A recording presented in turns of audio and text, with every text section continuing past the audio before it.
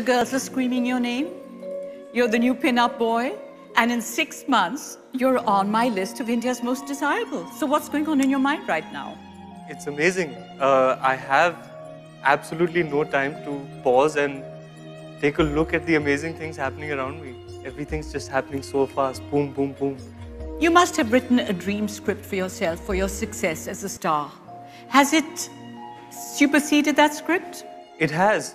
I'll tell you a funny story. Um, for my 23rd birthday, my sister, uh, instead of candles on my cake, had made these small pictures and she had morphed my face onto posters of Yash Raj films.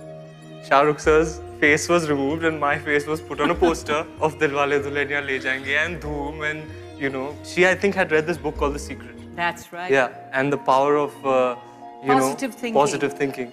And so I took those pictures of the cake and I pinned them up in my room. And uh, lo and behold, it came true.